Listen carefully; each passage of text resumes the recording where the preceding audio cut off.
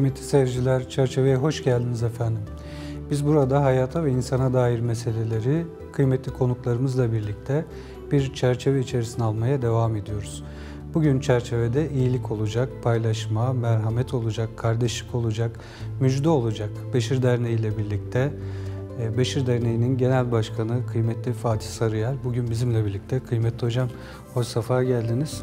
Hoş bulduk. Beşir Derneği e, daha önceki programımızda da e, hizmetlerini çok böyle anlatarak bitiremediğimiz ve her seferinde de hizmet hizmete bakışını ve anlayışını geliştirdiğini gördüğümüz çok güzide bir yer ve hakikaten müminler için adına yaraşır bir şekilde müjde olmaya devam ediyor. Elhamdülillah. Tekrar Elhamdülillah. hoş geldiniz. Kurban Bayramı vesilesiyle özellikle kurban bağışlarını ve diğer bağışları, Kurban Bayramı'nda yapılacak diğer bağışları bugün sizlerden dinlemek istedik efendim. Biz e, şuradan başlayalım. Kurban ibadetinde Beşir Derneği gerek vacip kurbanlar gerek sünnet kurbanlar bunların e, bu ibadetlerin yerine getirilmesinde Beşir Derneği bu e, ibadetlere nasıl aracılık ediyor, nerede duruyor, neler yapıyor? E, buradan başlayarak dilerseniz konuşalım. Allah razı olsun. Öncelikle teşekkür ediyorum. Ee, bizlere bu vesileyle bu hizmetimizde anlatma fırsatı verdiniz. Tabii Beşir Derneği'nin ana faaliyetlerinden bir tanesi de kurban, vekaleten kurban organizasyonları yapmak. Bunu kurban döneminde yapmış olduğumuz gibi aslında yıl içerisinde de adak, akika, şükür ve benzeri niyetlerle kesilmiş, kesilmek istenen kurbanların yurt içinde ve yurt dışındaki organizasyonlarını yaparak aslında bağışçılarımızın dini vecibelerini yerine getirmekler, getirmekte onlara kolaylık sağlamaya çalışıyoruz. Tabi kurban e, Allahu Teala'nın e, emirlerinden, e, hali vakti yerinde olanların yapmasını emrettiği ibadetlerden, mali ibadetlerden bir tanesi. E, zekat verebilenler e, aynı zamanda kurban e, kesmekle mükellef sayılarak bu ibadetin yerine getirilmesi e, dinimizce istenilmektedir. Bu anlamda da elhamdülillah ülkemizde kurban kesmek konusunda gerçekten özverili bir gayret de var. İnsanlarımız hal ve vakitlerine e, yanı sıra her türlü durumunda zorlayarak kurban kesmekle ilgili e, büyük bir teveccüh gösteriyorlar. Bu ibadetin yapılması ile ilgili. Tabi bu e, ibadetlerin yapılması günümüzde özellikle kurban ibadetinin günümüzde yapılması kişisel anlamda biraz bilgi ve teknik anlamda da bir beceri ve kabiliyet istediğinden dolayı hani eskiden biliriz işte dedelerimiz de kurban keserken dedem kendisi keserdi kurbanını. işte kendisi seçerdi, kendisi alırdı. Hatta alır bakar besler ondan sonra evet. kurbanını keserdi. Böyle bir e, sevinç aslında birkaç ay önceden başlardı bizim evimizde. Ama artık şehirlerimiz büyüdü. insanlarımız daha çok şehirlerde doğdu, büyüdü, yaşama, yaşamaya çalışıyor. Bu anlamda hani kendilerini kurban almaları, kesmeleri e, bir anlamda zorlaşmaya başladı. İşte bu noktada bizim gibi sivil toplum kuruluşları vekaleten kurban kesim organizasyonları düzenleyerek aldıkları bağışları yine hem Türkiye'de aynı zamanda daha çok e, gönül coğrafyamızda ihtiyacı olan yerlerdeki kardeşlerimize ulaştırmak konusunda kolaylaştırıcı bir faktör üstleniyor aslında. Bu vekalet verme meselesini bilmeyenler olabilir. Yani vekaletle kurban kestirilebiliyor. Öyle Tabii mi? kişiler kendileri kurban kesemedikleri zaman e, kurbanı kesecek kişiye bizzat onun vekaletini vermek suretiyle Hı. o kesimi yaptırabiliyorlar. Aslında Hı. sosyal hayatımızın birçok alanda bu vekaleti Hı. kullanıyoruz. Ama Aslanın belki yerine tabii. geçiyor aslında. Asıl olanın yerine Ama geçiyor belki yani. sanki hani kesmek için verilen bir vekalet yani sadece kes ben kesmeyeceğim ama işte kesmekten anlayan birisi var ona vekalet veriyorum. Usulen zihinlerde böyle kalmış olabilir diye evet.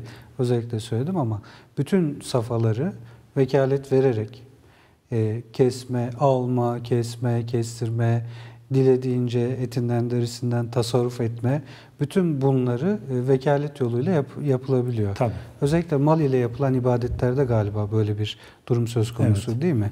E, hacda da. Hacda e, da yani birçok ibadette evet, bu vekaletten e, bu işlemler yapılabiliyorlar evet. ki e, e, dediğiniz gibi sadece kurbanı almak değil, kesmek değil, onun etini e, ihtiyaç sahiplerine dağıtmak, işte sakatatını, derisini, gerçek anlamda kullanıp yine onu bir ibadete, bir amele dönüştürmek konusunda vekalet tamamen kapsayıcı.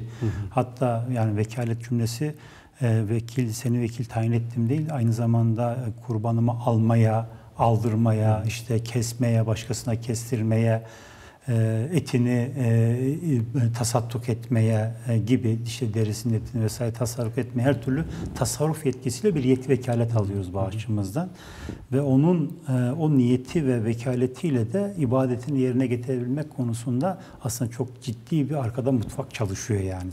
Çok böyle hani cümlede basit gibi vekaleten kurban kesimi gibi gözükse de o ibadetin yerine getirilmesiyle ilgili çok hassas bir çizgide İslami kurallara uygun e, e, e, kurbanlığa haiz olan hayvanların bulunmasından tutun da o kesim anındaki tekbirlerin getirilmesi ve daha sonra da onların ihtiyaç sahiplerine dağıtılması ile ilgili aslında mutfak arkada çok geniş bir çalışma sarf ediyor.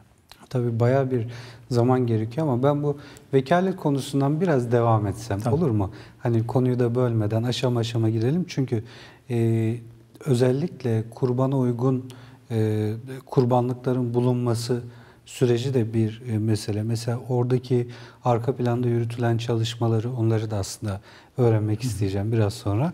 Şimdi vekalet verme dedik. Vekalet verilebiliyor. En, en önce bunu e, öğrenmiş olduk. Peki mesela vekalet nasıl verilebiliyor? Diyelim ki ben internet sitenizden e, vekalet işlemlerine başladım. Oraya ben yazıyla mı yazıyorum?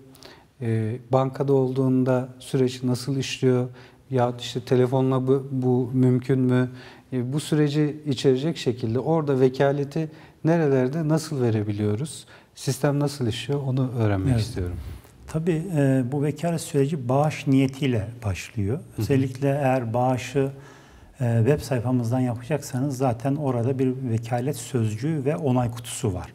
Onu onaylamadan bağış işlemi gerçekleşmiyor. Yani o vekaleti vereceksiniz ki bağış işlemi gerçekleşmiş olsun. O anlamda orada zaten vekalet sözcüğü tam anlamıyla kime, nasıl, neyi vekalet verdiğinizi açık bir şekilde belirtiyor ve onu onaylıyorsunuz.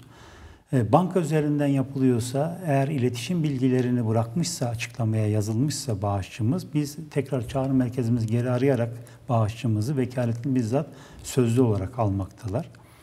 Ee, işte yine temsilciliklerimize giderek veyahut da standlarımıza giderek eğer bağış yapacaksa zaten bizzat orada e, vekaletini sözlü olarak vererek vermiş oluyor. Bu anlamda vekalet kısmı e, bizim aslında bağışın onaylanmasıyla e, onaylanmasını gerektiren zaruri bir kısım. Bu olmadan zaten bağış kabul edilmiyor. Ki e, ibadet yapıyorsunuz ve bunun vekilini vekili olduğunuzu tayin edilmeniz gerekiyor. Bir kurum veya kurumun yetkililer olarak tayin edilmeniz gerekiyor. Bu anlamda belirttiğim süreçlerde web sayfasında onay kutusunu işaretleyerek işte bankaya yatırıyorsanız çağrı merkezimizi sizi arayarak veya da siz çağrı merkezimizi arayarak vekalet e, işte e, çağrı merkezi otomatik karşılamaya geçtiği zaman vekalet vermek istiyorum tuşuna bastığınız zaman otomatikmen sizi vekalet bölümüne aktarıp oradan vekaletinizi alıyorsunuz. Veyahut da biz size arıyoruz vekaletini alıyoruz. Aynı zamanda standlarımızda sözlü olarak bu vekalet alınıyor. Ee, bizdeki yani sistem aslında yazılı çalışıyor. ve sözlü olarak evet veke, vekalet alınabiliyor. Bu da bayağı bir kolaylaştırıyor. Peki e, diyelim ki kişi vacip, üzerine vacip olan kurbanı olduğu gibi bağışlamak istiyor olabilir. Ya da e, doğrudan bağış olarak da bağışlamak istiyor olabilir. Bu ayrımı da belirtiyor mu e, şeyde vekalet verirken? Ee, şimdi vacip kurban bağış türleri var. İşte Hı. vacip kurban, işte Hı. şafiler için sünnet kurban, veyahut da akika kurbanı, veyahut da adak kurbanı, veyahut da nafile kurban veyahut da bağış. Bunların hı hı. hepsi ayrı ayrı seçenekler halinde belirtiliyor zaten bağış sistemimizde. Hı. Bağışı hangisini tercih ediyorsa ve hangi vekaleti vermek istiyorsa o kutucuk üzerinden veyahut o bağış üzerinden sistemi devam ettiriyor. Bu dediğimiz gibi internet ortamından çok kolaylıkla yapılabildiği gibi yine temsilciliklerimizden veyahut da e, şu anda kurmuş olduğumuz tüm standlarımızdan yapılabilecek kolay bir işlem. Hı hı. Peki süreç nasıl işliyor? Beşir Derneği aslında e, kurban bağışları için çalışmaya ne zaman başlıyor? Biz şöyle zannediyoruz herhalde bağışı verdikten sonra diğer işlemler yapılıyor gibi ama herhalde onun bir öncesi var. aslında bir sene önceden başlıyor. Bir, bugün yapmış olduğumuz kurban organizasyonunun devamı aslında gelecek seneki yapacağımız kurban organizasyonunun da başlangıcı olarak bizde geçiyor. Aslında biz 365 gün bu sürece hazırlanıyoruz. Dediğim gibi vacip kurbanı dışında e, yıl içerisinde de biz birçok kurban kesim organizasyonu yapıyoruz gelen bağışlarla ilgili olarak. E, tabii aktif kurban dönemini aktif çalışmamız Ramazan ayı içerisinde başlıyor. Aynı zamanda gönül coğrafyamızda Ramazan çalışmalarını yaparken kurbanın ön çalışmalarını da e, yapıyoruz gittiğimiz ülkelerde. E, çünkü kurbanın son anına veya da gelecek bağışlardan sonra bu işlemi yapmaya kalkarsanız ciddi bir sıkıntı yaşayabilirsiniz. Hem hayvan e, bulma anlamında, temin etme anlamında hem de kurbana haiz olabilecek hayvanları bulup seçme anlamında makas çok daralmış oluyor. E, yani her yıl belli bir bağış kapasitemiz var. E, diyoruz ki bize bu kadar bağış gelebilme ihtimali var. Bağışçılarımızın her yıl bize vermiş olduğu bağış sayılar, sayılar üzerinden yapmış olduğumuz analizlerle biz aslında Ramazan ayında bütün kurbanlarımızın hemen hemen satın almasını bitirmiş oluyoruz. Ee, yani bu süreç sadece kurbanı gidip hemen işte şuradan bana 100 tane, 1000 tane kurbanlık hayvan ver demekle olmuyor. O hayvanların kurbanlığa haiz olup olmadığını arkadaşlarımız tek tek kontrol ediyorlar. İşte dişlerine bakıyorlar, yaşlarına bakıyorlar, vücutlarında herhangi bir kusur var mı, özür var mı, kurban olmasına engel olabilecek bir durum ve şart var mı diye tek tek bütün hayvanlar, kurbanlıklar e, inceleniyor. Onay verdiğimiz kurbana da küpesini takıyoruz. Beşir Derneği küpesini takıyoruz. Artık o hayvan bizim olmuş oluyor. Bağışçılarımızın bağışları geldiği zaman da daha önceden seçmiş olduğumuz bu hayvanların bayramın ilk üç günü vacip olan, vacip ve sünnet olan kurbanların bayramın ilk üç günü kesimleri yapılarak ihtiyaç sahiplerine dağıtılıyor. Aslında özet olarak sistem bu şekilde işliyor. Hı hı.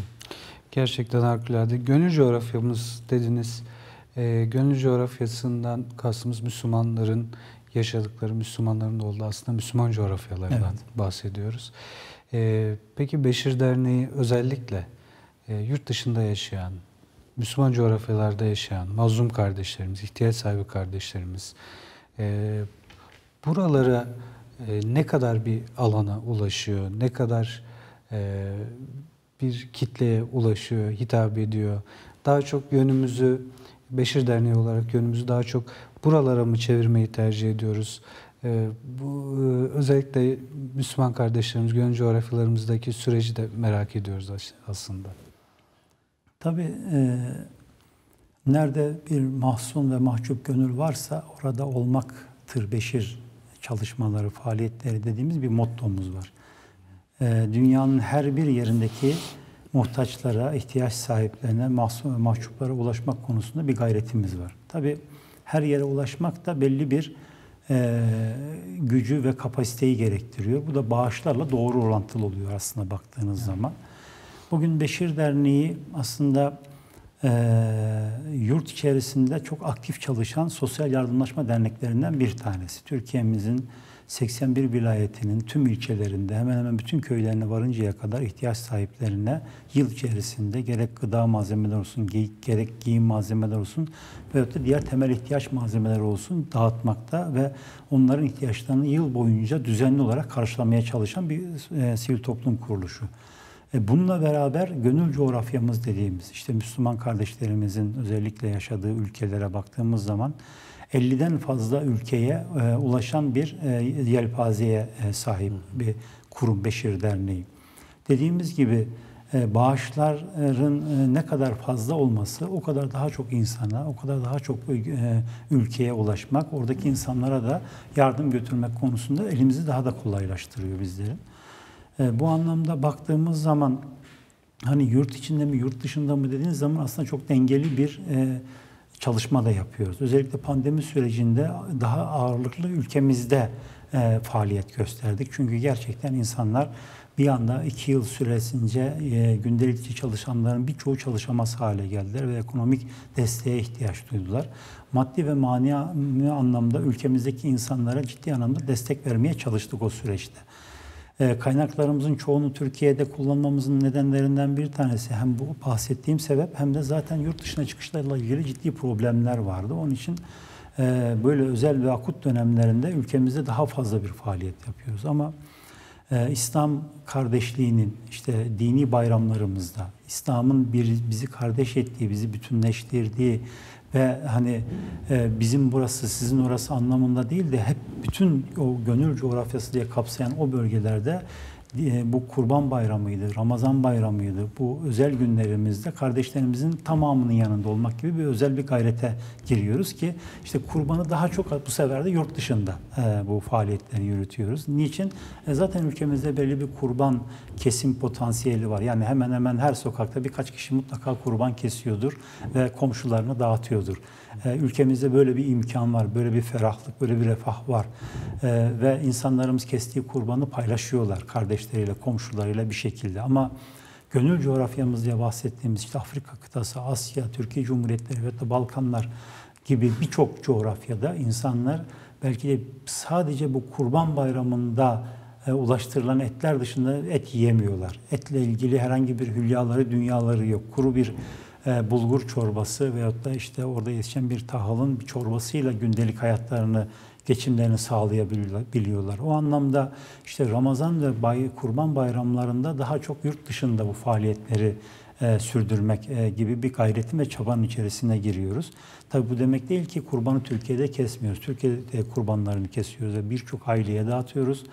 Ee, belki biraz sonra da değineceğiz. Kardeş payı projemiz de zaten bu anlamda ciddi bir hacme ulaşıp yine ihtiyaç sahiplerinin ihtiyaçlarını görüyoruz.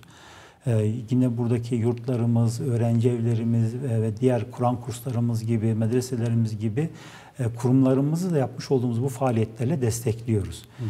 Ee, geldiğimiz zaman yurt dışında işte e, et yemeyen, sizi eğer siz o, o, o yıl o köye gitmediyseniz belki o yıl dahi et yiyemeyecek insanlar var.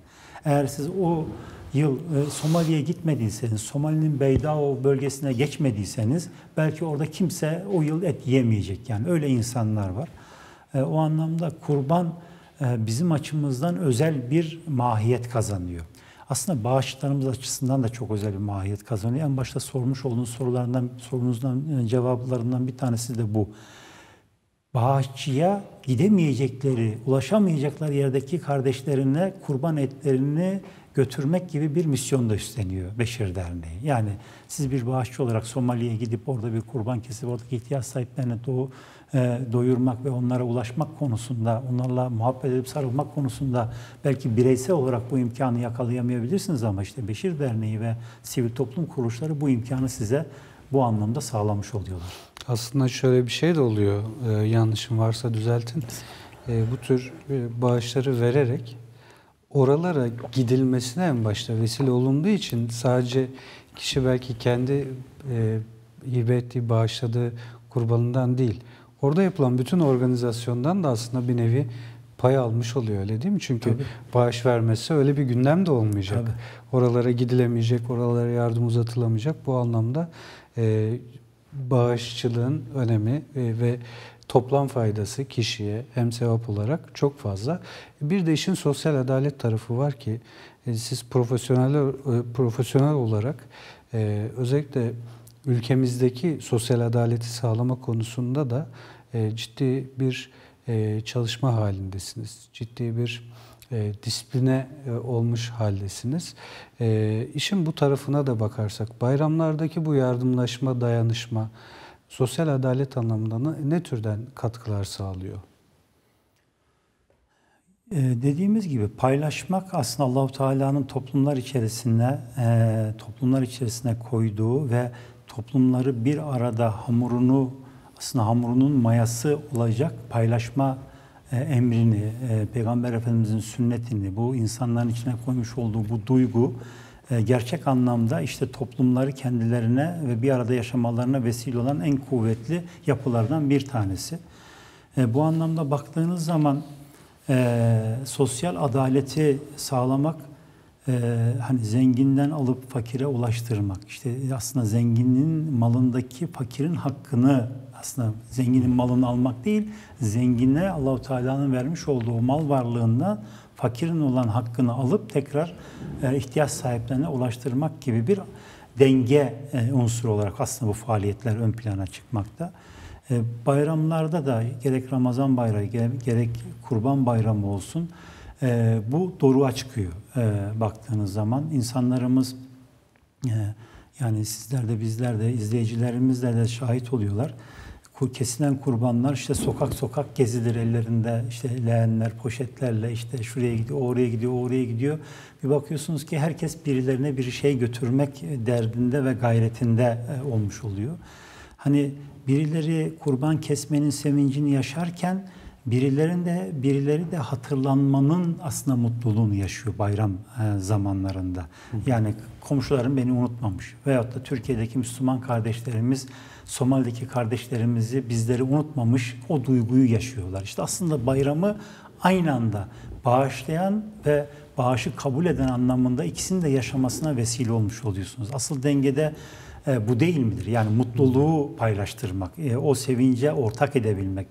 Kurban eti birkaç günlük e, tüketimden sonra bitebilecektir. Ama onun bıraktığı iz, onun bıraktığı o duygu, birliktelik, kardeşlik bir ömür boyu, asırlar boyu devam edecektir. Onun için az önce de belki başka programlarda da bahsettik. Sadece kurban kesmeye gitmiyoruz biz.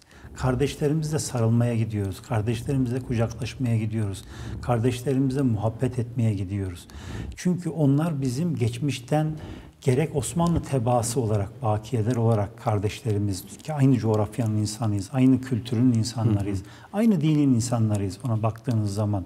Zaten birdik, beraberdik. Belki şurada bir 100-120 yıldır bir e, aramıza bir şeyler girdi, bir şeyler bizi buluşmamızı, sarılmamızı engelledi ama artık kurban vesilesiyle, Ramazan vesilesiyle, zekattır, fitreydi, diğer bağışlar vesilesiyle kardeşlerimize gidip kucaklaşmamız lazım. Onları unutmadığımızı, onların her daim gönlümüzde yerleri olduğunu hatırlatmamız lazım. Sadece bir poşet kurbanı götürmek değil mevzu. Mevzu bu kardeşliği yeniden diriltmek. O İslam ümmet bilincini, ümmet birliğini yeniden tesis etmek için aslında çok güçlü bir faaliyet aslında Kurban Bayramı. Allahu Teala'nın e, emir ve yasaklarında çok büyük hikmetler vardır. Aslında e, yani kurban kestiğiniz kurbanın ne etleri ne de kanları Allahu Teala'ya ulaşacaktır. Yani ancak o niyet Allahu Teala'ya ulaşacak ve onunla muamele görüleceksiniz. O kesilen etlerse işte kardeşliği, birliği, bütünlüğü, toplumdaki o huzuru sağlayan en büyük sosyal denge olarak Allahu Teala emretmiş. Hiçbir şey boş değildir yapılan bir şey. Bugün birçok insan bilmeden konuşuyor ya neden kurban kesiliyor? Yani ne gerek var kurban kesmeye ama bunun aslında hem dini ve manevi anlamda e, ruhlarda vermiş olduğu bir dinginlik, bir huzur varken aynı zamanda sosyolojik açıdan da birçok araştırmalarda bu bayram günlerinin, bu yapılan faaliyetlerin toplumda ciddi bir e, ne diyeyim sulhü, barışı ve adaleti sağladığına dair birçok araştırma var yani. O anlamda kurban e, bağışı veyahut da çalışması deyip geçmemek lazım. İmkan dahilinde olanların hepsinin, herkesin, inanan herkesin bu faaliyeti yerine getirmek konusunda birbiriyle yarışmaları gerekiyor aslında. Aslında evet söylediğiniz gibi yani sadece et girmiyor. Bir fakirin yoksulun evine et gittiğinde sevinç giriyor, dediğiniz gibi ümit giriyor, müjde giriyor. Bu duyguları aslında yaşıyorlar ve bunlar çok kıymetli duygular. Çünkü yani malumunuz olduğu üzere e, Allah'tan ümidinizi kesmeyin. Çünkü Allah'tan ancak kafirler ümidini keser. Ayet-i kerimesi var. E, tam belki de ümidini kesmek üzere olan insanlar var. O, o duruma gelmiş. Öyle değil mi? Mazlum evet. coğrafya diyorsunuz. O mazlumluğu belki birazcık açarsınız. Yani böyle sadece zihnimizde e, hiç et yemeyen insanlar kalmasın diye söylüyorum bunu. O mazlumluğun e, boyutları, derinliği çok e, fazla olabilir. Bir savaş coğrafyasından belki bahsediyorsunuz. Başka türden baskıların yaşandığı bir coğrafyadan bahsediyorsunuz. Tam o an ümidini kesmek üzere olan bir insana birden bir müjde götürmek, tekrardan onun dediğiniz gibi elhamdülillah kardeşlerimiz bizi unutmadı e, diye düşünmesini sağlamak bu herhalde her şeyin üzerindedir. Öyle değil mi? Yani bu mazlum coğrafyaları birazcık açsak Fatih Bey rica etsem. Yani ne türden bir mazlumluktan bahsediyoruz? Mazlum coğrafyaların aslında hani mazlum herkes tarafından biliniyor. Yani e, hakkını alamamış Hı. veyahut da bir zulme uğramış veyahut da e, bir şekilde e, sıkıntı ve musibetlere düçar olmuş bir kişi elini uzatıp da e, ayağa kaldırmamış. Bir şekilde gönlü kırılmış, bir şekilde e, yalnız kalmış e, coğrafyalardan bahsediyoruz aslında. Yani bugün yanı başımızda Suriye'ye baktığımız zaman hı hı. E, 13-14 milyondan fazla insan yerinden edilmiş. E, 7-8 milyon e, Suriyeli ülkesini terk etmek zorunda kalmışlar. Bugün o kamplarda gezdiğimiz zaman o insanların yani 10 yıl önceki hayatlarından çok uzakta perişan ve e, perişan bir halde yaşamaları, e, işte yüzlerindeki o mahzunluk, o mahcupluk, o kırgınlık yani her şeyleri değişmiş. İşte 10 metrekare bir çadırda 5-6 kişinin, 10 kişinin çoğu zaman e, yaşadığı bir ortamda 10 yıl geçiyor ve e, dünyanın e, ümide dair bir şeyiniz kalmamış. Yani yarınınızın ne olacağını bilmiyorsunuz. Yani eski heyecanlarınız, sevinçleriniz, mutluluklarınız böyle bir şeyler unutmuşsunuz yani. Başka şeyler edinmişsiniz, endişe edinmişsiniz, kasvet edinmişsiniz. Ölen e, işte kocalarına, çocuklarına veyahut da e, kadınlarına ağlayan insanlar, 10 yıldır ağlıyor bu insanlar bu kamplarda. İşte mahzunluk ve e, mazlumluk böyle bir şey. Yani ama siz gidip şöyle ufak bir sarıldığınız zaman o, o 10 yılın kasvetini bir anda dağıtıyorsunuz. Bir anda kendini güçlü hissediyor karşıdaki insan. E çöllere gidiyorsunuz, e, e, Afrika'ya gidiyorsunuz, Somali'ye gidiyorsunuz. Yani elektriğin, suyun, e, yolun, e, e, sağlığın, eğitimin olmadığı bir beldeye gidiyorsunuz. Yani orada insanlar bir şekilde kendilerini yaşayıp gidiyorlar. Yani şu, şu lüks bir şey lüks zaten lüks düşünülemez normal bir apartman dairesinden işte bir binekten veyahut da ne bileyim iyi elbiselerden her gün yiyebilecekleri birkaç çeşit yemek gibi bir hayal dahi kuramayan beldelere gidiyorsunuz ve selamun aleyküm diyorsunuz. Aleyküm selam diyor karşıdaki insan. Bir sarılıyorsunuz. Dünyanın en güçlü insanı oluyor artık. İşte o duygu aslında bu. Onun için bizler ee, bir koli kumanyamız da olsa, e, bir 5 kilo etimiz de olsa biz bu ülkelere gitmek zorundayız. Buraları gezmek zorundayız. Buradaki kardeşlerimize sarılmak zorundayız.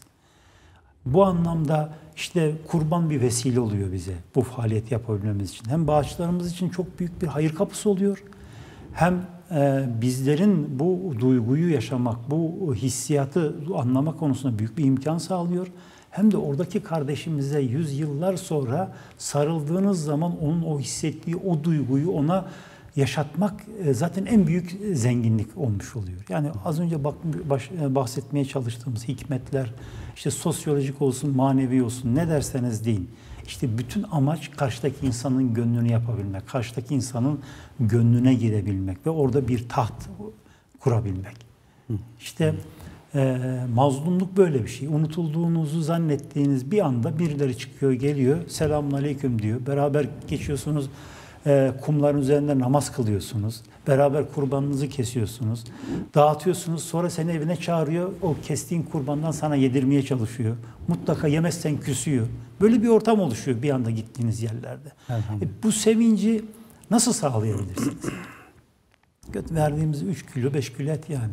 Hani bir yerde 300-500 tane hayvan kesiyorsak zannetmeyin ki öyle e, but but etkili yerlere. Zaten çevrede bir sürü insan var ve sizi sabah namazından itibaren bekliyorlar. Kurbanlar kesilse de 2-3 e, kilo et alabilsek diye yani. Aslında belki de onlar et için de beklemiyorlardır da sırf hmm. bizimle kucaklaşmak için de bekliyorlardır. Çoğu zaman bunu da düşünüyorum. Yani 3 kilo et yesen olur, yemesen olur yani. Gayet tabii ama bu bu meseleleri, evet. bu örnekleri Özellikle yaşadığınız bazı örnekleri, tabii ki sizin hassasiyetleriniz var. Bu meseleleri de e, bazen zorla anlattırıyoruz aslında. Çünkü e, o konuda da bazı hassasiyetleriniz var ama e, insan zihninde canlandıramıyor. E, böyle ara ara programımız süresince e, bu tür açılımları da e, sizden duymak istiyorum ama müsaadenizle şimdi kısa bir araya ihtiyacımız var. Teşekkür ederim.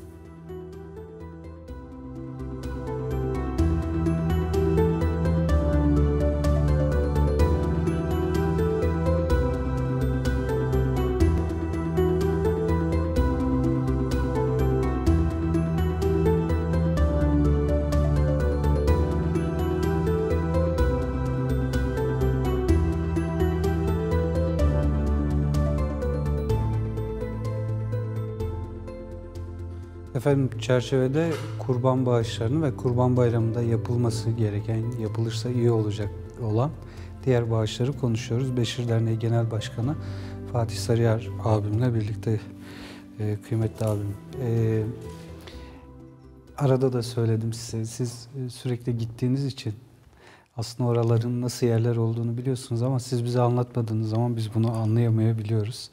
Dediğim gibi ara ara sizden e, oradaki izlenimlerinizi, tecrübelerinizi ben yine dinlemek isteyeceğim. Ama şimdi tabii kurban ibadeti bir e, ibadet olduğu için e, işin hassas noktaları da var. Bütün usullere riayet edilmesi noktasında. Beşir Derneği'nin bu anlamda hassas olduğunu biliyoruz ama e, bağışçılara neler söylüyorsunuz? Yani bu süreci nasıl koordine ediyorsunuz? Bir de burada e, hep üzerinde durduğunuz bir husus profesyonel profesyonelleşme aslında yardımların. E, bu anlamda kurban ibadetine bu nasıl yansıyor? Onlardan biraz bahsetmek ister misiniz? Tabii. Ee, dediğimiz gibi e, kurban e, dini bir e, vazife. E, onun yerine getirilmesiyle ilgili bir vekalet süreci işletiliyor. E, bu anlamda tabii ki e, derneğimizde e, kadrolu çalışan alimlerimiz, din hocalarımız, fıkıh hocalarımız var. Aynı zamanda yine kurban dönemi gönüllü olarak bize katılan hocalarımız var. Kurban kesim yerlerinin tamamında bir kere hocalarımız bütün operasyonu, bütün süreçleri tek tek kontrol ediyorlar. Fıkhi açıdan herhangi bir noksanlık, eksiklik olmasın diye. E, bunu zaten bizim bağışçılarımız biliyorlar. E, bunu da sürekli web sayfalarımızdan ve hazırladığımız videolarda anlatmaya çalışıyoruz bağışçılarımıza da. E, dini bir ibadet olduğu için bu e, kıstaslar çok önemli ve e, buna riayet etme konusunda Beşir Derneği e, azami gayret gösteriyor ve ciddi bir e, süreç işletiyor bu anlamda. Dediğimiz gibi birkaç ay önceden gidiliyor. E, kurbanlık olarak alınacak hayvanlar tek tek kontrol ediliyor ve e, yani böyle 15-20 hayvandan bahsetmiyoruz. Yani binlerce hayvandan bahsediyoruz ve bunlar tek tek bütün ülkelerde kontrol ediliyor, işte küpeleniyor e, ve gidildiği zaman tekrar yeniden hani ilk kontrolle son kontrol arasında herhangi bir fiziki değişiklik olmuş mu olmamış mı bunlar kontrol edildikten sonra e, kurban kesmekle ilgili işte abdest olunması, tekbirler getirilmesi, hayvanların kıbleye doğru yatırılması ile ilgili azami anlamda e, yapılması gereken şeylerin tamamı hocalarımızın nezaretinde yapılmaya çalışılıyor. Aynı zamanda e, gerek Türkiye'deki kesimlerimizde olsun, gerekse yurt dışındaki kesimlerimizde olsun mutlaka veteriner bulundurmaya e, çalışıyoruz. Çünkü aldığınız, kestiğiniz hayvanda hastalık var mıydı, yok muydu, eti bu anlamda uygun mu, değil mi? E, mutlaka bütün etler tek tek mühürlenerek e, parçalanmaya gönderiliyor ve ondan sonra ter, terazilerle kaç kişiye dağıtılacaksa ona göre pay yapılıp dağıtımlar e, bu süreçler devam ettiriliyor. Bu anlamda e, ibadetini, vekaletini Beşir Derneği'ne vermek isteyen bağışçılarımızın gönüllerinin rahat olmasını buradan ifade edebilirim. E, e, çünkü belki de vekil olan bizler onlardan daha çok sorumlu oluyoruz e, dini anlamda. E, çünkü vekaleti almışız ve sizin, sizin adınıza bunu yapacağımıza söz vermişiz. Bu anlamda e, bu faaliyeti yaparken işte profesyonellik anlamında ise işte bu organizasyonların sağlıklı yürütülmesiyle ilgili e, dediğimiz gibi öncesinde ve sonrasındaki bütün çalışmalar e, uzman ekiplerimiz tarafından aylar öncesinden hatta işte e, başında başta da söyledim 2021 kurbanında başlattık biz aslında 2022 kurban organizasyonumuzu. Çünkü oradaki ekiplerin ayarlanması, o kesim ekiplerinin bulunması, e, parçalanması, nerelere dağıtılacağı, kimlere dağıtılacağı, nasıl dağıtılacağını varıncaya kadar bir sistem, bir e, hiyerarşi yapısıyla bu işleri yürütüyoruz. Hani bir meydanda kesiyoruz, kim gelirse veriyoruz değil aslında günler öncesinden e, partner kurumlarımız olsun, oradaki yapılar olsun, dini yapılar olsun bunlar üzerinden e, kurban kesim kartlarımızı aslında günler öncesinden ailelere dağıtmış oluyoruz. Ve bu kurban kesim kartlarıyla aileler randevu usulüyle kurban kesim yerine geliyorlar veyahut da kurban kesim yerinde aldığımız etleri biz onların köylerine kadar götürüyoruz. Bu coğrafya anlamında, ülke anlamında bazı değişiklikler gösterebiliyor ama kimin alacağı, ne kadar alacağı önceden belirlenmiş bir organizasyonu yürütüyoruz. Yani hiçbir kargaşa olmadan, hiçbir can ve mal güvenliğini sıkıntıya sokacak hiçbir unsur olmadan tüm bu organizasyonlar yapılıyor. Güvenlik görevlileri tutuluyor, işte yerel makamların izinleri alınıyor, yerel kulluk kuvvetlerinden bununla ilgili destek alınıyor. Ee, ve e, işte ulaştıracağınız yerlere giderken o etlerin sağlıklı gitmesiyle ilgili soğuk hava araçlarının temini her ülkede bu bunlar aslında çoğu zaman bulamıyorsunuz. O kadar çok ciddi bir gayret sarf ediyor ki arkadaşlarımız ve bunları yaparken e, e, minimum maliyetle yapmakla ilgili de ciddi bir e, gayret gösteriyoruz aslında. Yani hani biz ticari bir kurum değiliz. E, nitekim e, bütün derdimiz e, birilerinin yapmış olduğu bağışları yine gerçek ihtiyaç sahiplerine ulaştırmakla ilgili bu hizmeti yürütmek için gönül vermiş bir camiayız, bir topluluğuz. Beşirler baktığınız zaman gönülle bu işi yapan insanlar, gönülden yapan insanlar. O anlamda ticari bir hiçbir düşüncemiz olmamıştır, olamaz da bu baktığınız zaman.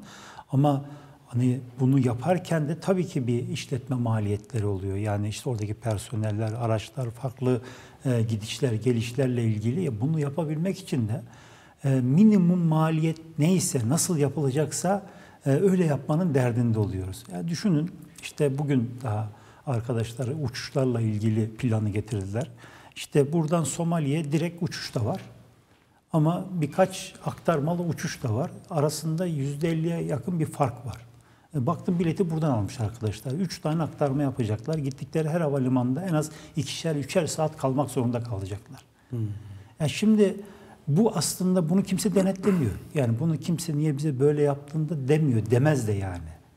Ama vicdanlarımız, çalışan arkadaşlarımızın veyahut da gönüllerimizin bütün vicdanı ne kadar minimum maliyetse kalan o kadar ihtiyaç sahibine gidecek derdiyle bu faaliyetleri yürüttüklerinden dolayı işte profesyonel bakış açısı, aslında biz amatör e, veyahut da vicdani ruhla yürütmeye çalışıyoruz. Böyle çok hmm. yüzde yüz profesyonel de olmuyoruz. Çünkü çok profesyonel olan kurumları biliyoruz. Özellikle batılı kurumların çoğunu biliyoruz. E, tek kuruş bağış toplamadan tamamını ülke devletlerinden veyahut da farklı fonlardan alarak yüzde yetmişlerini kendi giderleri, yüzde otuzlarını yardım faaliyetleri olarak dağıtan kurumları biliyoruz. Bizim farkımız yani e, Türk STK'ların veyahut da İslami hassasiyet olan STK'ların e, farkı ise e, bu işi gönülle yapmaları. Hatta kendi ceplerinden masraflarını karşılayarak bu faaliyetleri yürütmek gibi bir gayret ve farklılaşmanın içerisine girmiş oluyoruz. Onun için her fırsatta söylüyorum.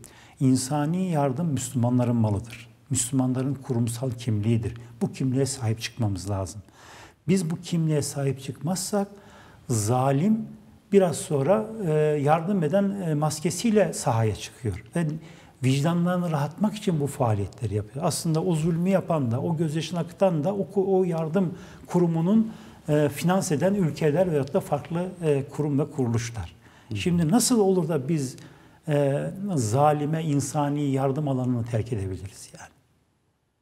Yani sadece mevzu yurt dışına gidip kurban kesmek değil. Bu ibadeti yaparken aynı zamanda bu dengeleri de e, bu faaliyetin yürütülmesiyle ilgili bu İslam'ın e, şiarı olan, İslam'ın kendi müessesesi olan yardımlaşmanın, insani yardım müessesesinin de yeniden Müslümanların elinde olarak adalet ve barışa hizmet etmesini sağlamak amacımız. Öyle değil mi? Ee, ecdadımız Osmanlı birçok kıtayı yapmış olduğu yardım faaliyetleriyle tebası haline getirdi. Birçok yeri savaşmadan Alperen dervişlerin gidip orada yapmış oldukları köprüler, hamamlar, şifahaneler, aşevleriyle birçok topluluk Osmanlı'nın tebası oldular yani. Ama aynı yöntemi 100 yıldır maalesef misyonerler kullanıyor, maalesef sömürgeci zihniyet kullanıyor. Yardım niyetiyle gittikleri toprakların zenginliklerini sömüren bir sistem ortaya çıktı. Biz kendi içerimizde, kendi dertlerimizle uğraşıp bu yardım çalışmalarını onların eline bıraktığımız zaman dünyada gözyaşı, e, e, kan akmakta, artarak akmaya başladı. İşte bunu değiştirmenin zamanı.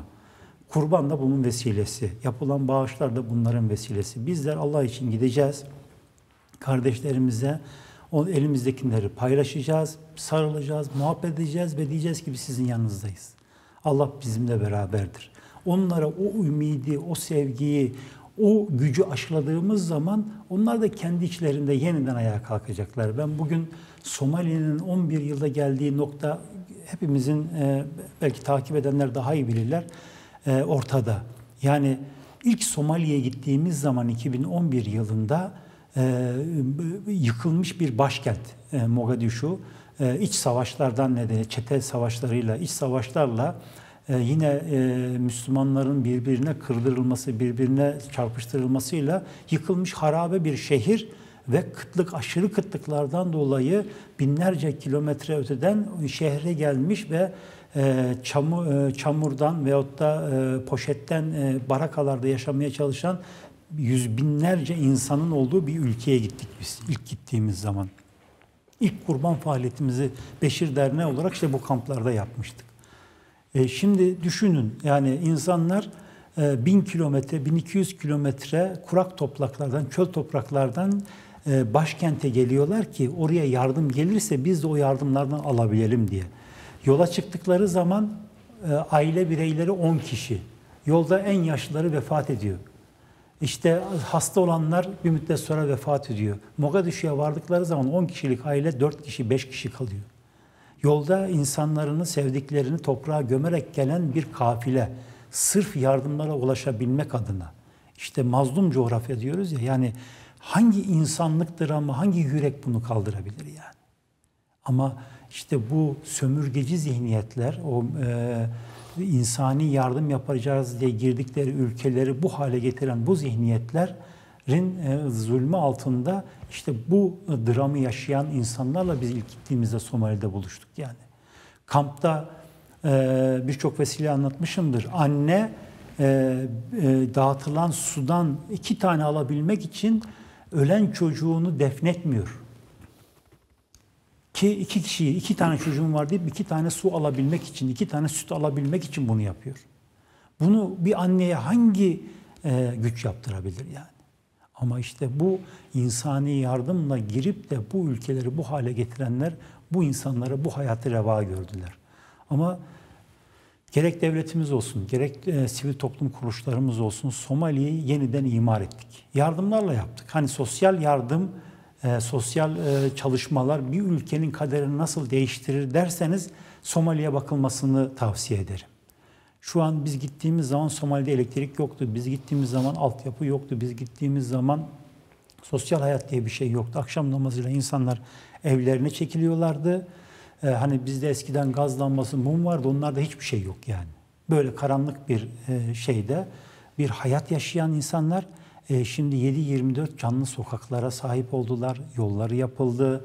E, hastaneler yapıldı. Türk Sağlık Bakanlığı çok ciddi büyük hastaneler yaptı.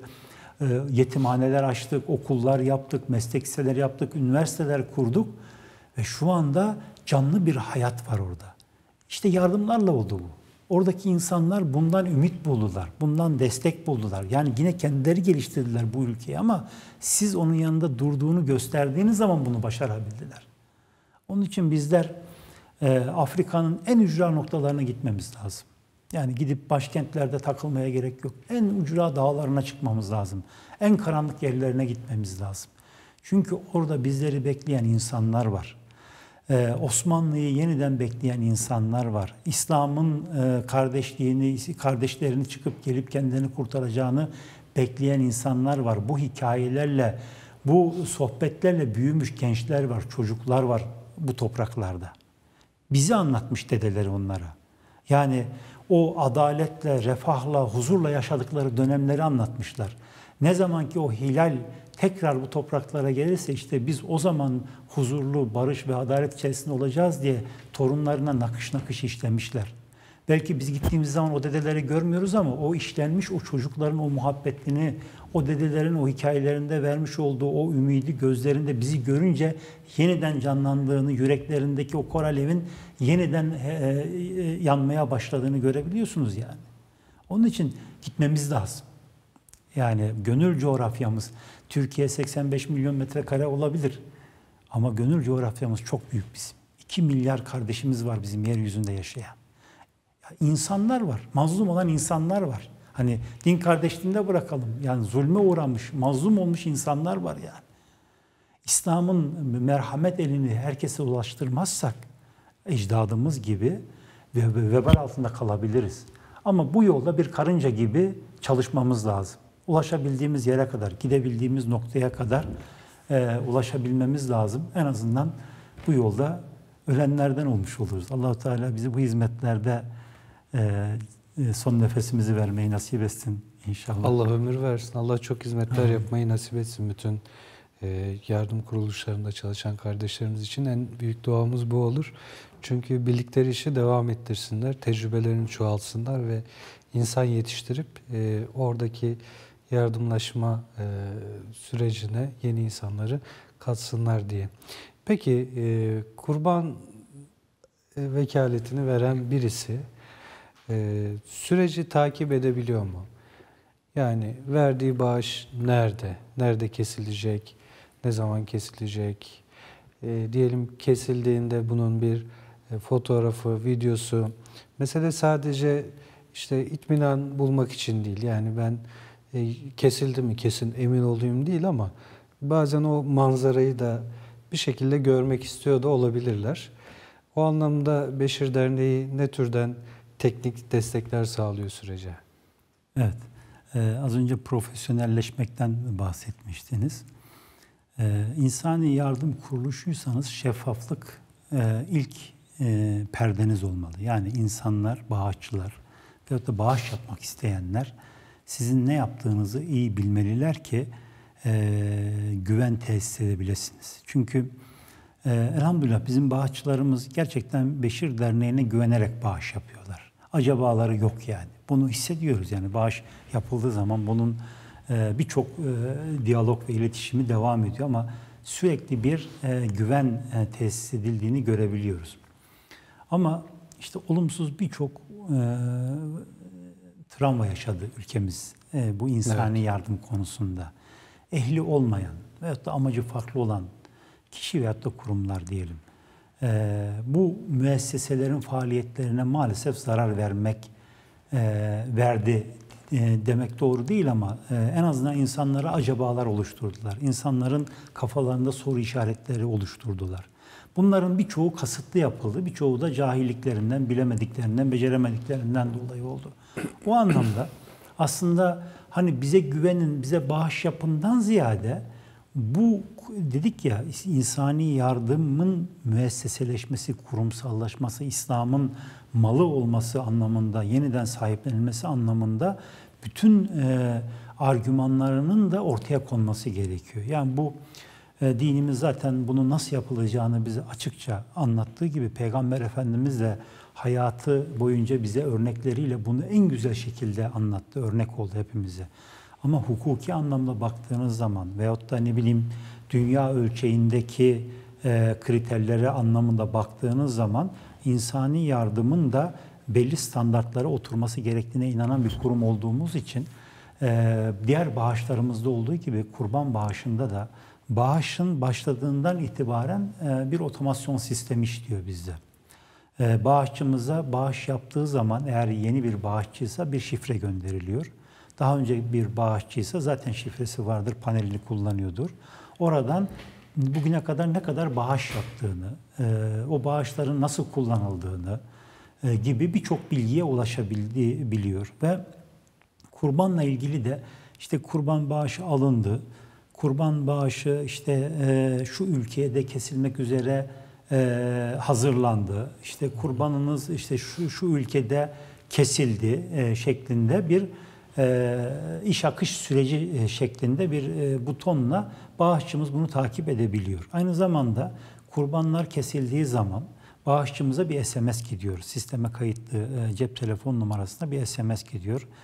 Hem dua etmek anlamında hem Allahu Teala kabul etsin demek anlamında hem de kurbanın hangi ülkede kesildiğine dair tekrardan bir bilgi vermek anlamında bir SMS gönderiyoruz. Ee, ve daha sonra kurbandan e, yaklaşık birkaç hafta sonra da gelen görüntülerle de e, kesilen kurbanın e, görüntülerini kişiye özel panele yüklüyoruz. E, kurban bağışlarımıza da bir SMS gönderiyoruz. Diyoruz ki kurban videonuz sisteme yüklenmiştir. E, bakabilirsiniz, indirebilirsiniz, kendiniz saklayabilirsiniz şeklinde bir bilgilendirme gidiyor. Aslında bağışçı her ne kadar bizim yanımızda değilse de bizim ne yaptığımızı adım adım adım adım takip ediyor ve nihayetinde bir SMS ve bir video, videoyla e, yapılan faaliyeti nihayete erdirmiş oluyoruz. E, bu şekilde bir süreç işletiyoruz kurban bağışı Peki yasa sürecinde. olarak mesela e, hani yayıncı olduğum için e, bunu soruyorum e, abi. E, yasa olarak video çekmenin, fotoğraf çekmenin mümkün olmayabileceği yerler olabilir ya da riskli olabileceği yerler Evet. olabilir. E, böyle durumlarda oluyor mu? Bu bu durumda Oluyor. nasıl hareket ediyoruz mesela? Oluyor. Mesela bazı organizasyonlarda havalimanında fotoğraf makinelerimiz geri alınabiliyor. İşte Hı hı.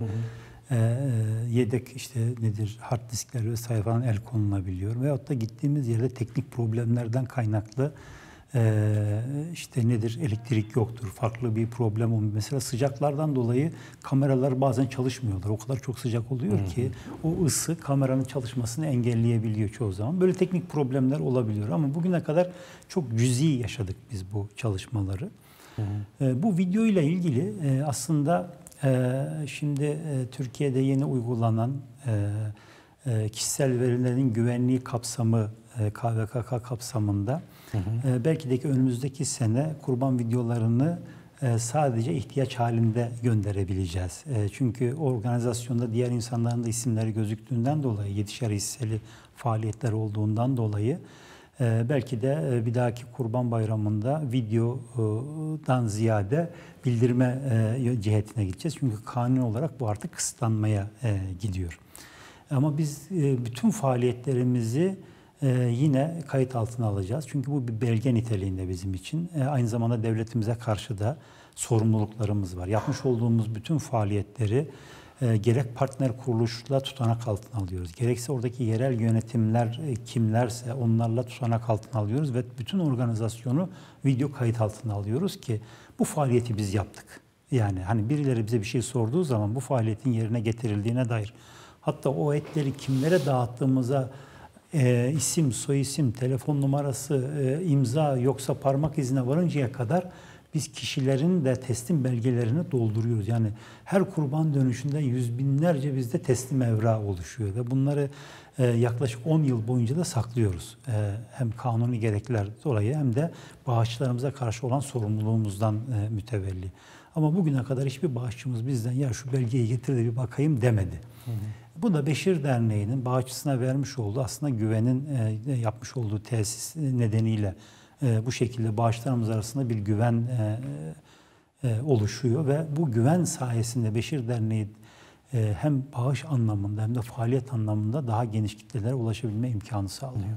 Bu KVKK yani kanuni iletişimle ilgili kanun, kişisel verilerin korunması kanunu kapsamındaki o düzenlemeler e, bu türden değişikliklere sebep olacağı gibi belki de e, attığınız SMS'leri alamayacak olanlar da var aslında değil mi? Çünkü e, toplu SMS alımlarına belki e, kapalıdır. Dolayısıyla aslında Beşir'in bilgilendirmeleri de gitmeyecek olabilir. Belki böyle bir uyarı da yapmak faydalı. Çünkü biz de e, benzer iletişim e, tekniklerini kullandığımızda bazı SMS'lerin muhatabına ulaşmadığını görüyoruz. Yine yurt dışında da e, bazı operatörler e, özellikle Türkiye menşeli e, işte SMS'lerin muhataplarına ulaşmasını engelleyebiliyor. Bütün bunlarla ilgili aslında bağışçıların eğer böyle bir beklentileri varsa, süreci takip edeceklerse sanki SMS ile ilgili meselelerini e, çözmek için bir adım atmaları Tabii. iyi olur. Öyle değil mi? Bunu Onu da- yaşıyoruz her kurban Aha, döneminde evet. yaşıyoruz. Mutlaka toplu mesajlara ve de reklam mesajı denen e, mesajlara kapalı hatlar olabiliyor. E tabi bağışçılarımız panel üzerinden de takip edebildikleri için aslında çok da SMS'e de ihtiyaç duymuyorlar.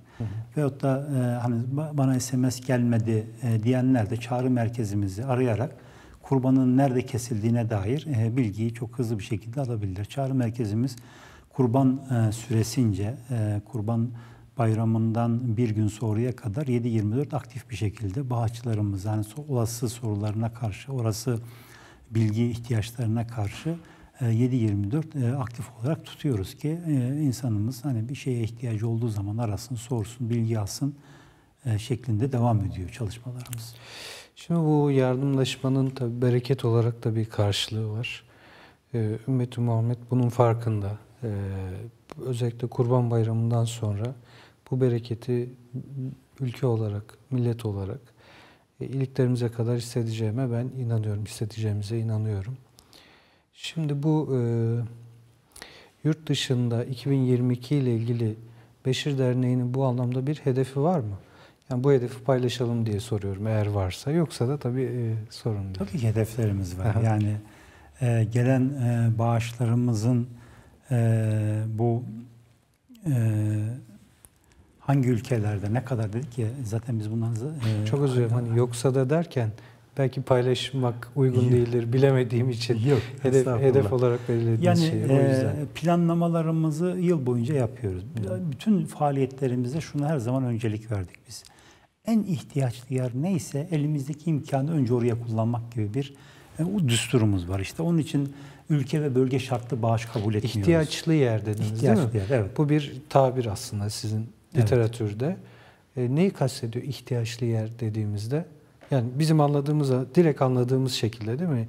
İhtiyaç sahibi olan ama Evet. en acil ihtiyaç Evet, en sahibi acil olan. olan. Öyle değil yani mi? temel e, gereksinimlerini karşılama konusunda e, acize düşmüş. Hı. Ve e, gelecek yardımlara en çok ihtiyacı olan kişi, bölge veya da ülkeleri kastederek bunu ihtiyaçlı olarak söylüyorum. E, en ihtiyaçlı e, olan bölge e, neresiyse e, ilk imkan oradan başlayarak aslında e, faaliyetler yapılıyor. Onun için kurban bağışında Türkiye ve da yurt dışı şartı almıyoruz. Veyahut da şu ülke şartı almıyoruz. Niçin? Ya çünkü şu ülke dese herkes oraya bağış yapsa bu sefer diğer taraftaki gerçekten daha ihtiyaçlı olan bir bölgenin bu hizmetten mahrum kalması engellenebilir bu anlamda. Onun için diyoruz ki bağışlarımızda kurban bağışınızı Beşir Derneği'ne yapın. Beşir Derneği de e, en ihtiyaç duyulan, en acil e, noktalardan başlamak suretiyle bu yardımları e, onlara ulaştırsın gibi bir hedef koyuyoruz. Yani kurban ibadetinde şartlı bağış almak aslında biz bütün değil mi? şey bağışlarımızda Oraya gelecektim. zekat olsun, Evet. işte yetim olsun, işte şartlı bağış konusu çok e, aslında e, bağışçı açısından e, belki farklı duygular uyandırıyor olsa da bunu yöneten ve bu bağışları ulaştıran kurum açısından çok sıkıntılı bir süreç aslında. Şimdi siz diyorsunuz ki bunu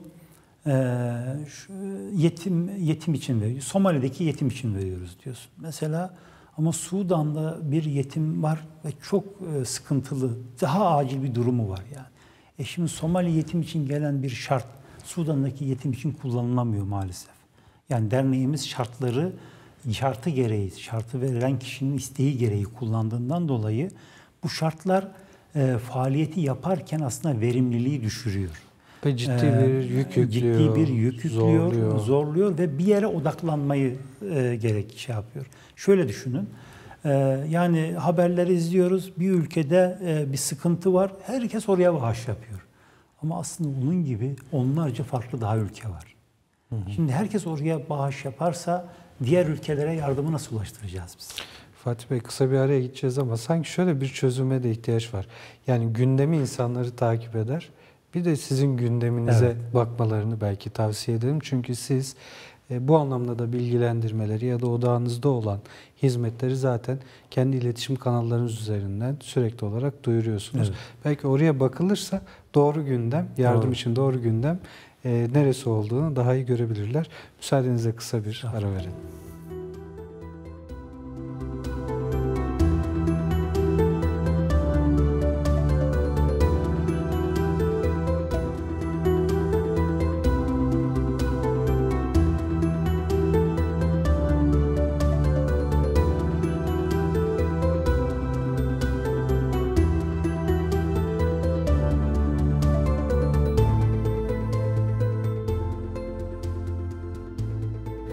Çerçevede Beşir Derneği Genel Başkanı Fatih Sarıyar'la birlikte e, Kurban Bayramı münasebetiyle yapılacak yardımları konuşuyoruz.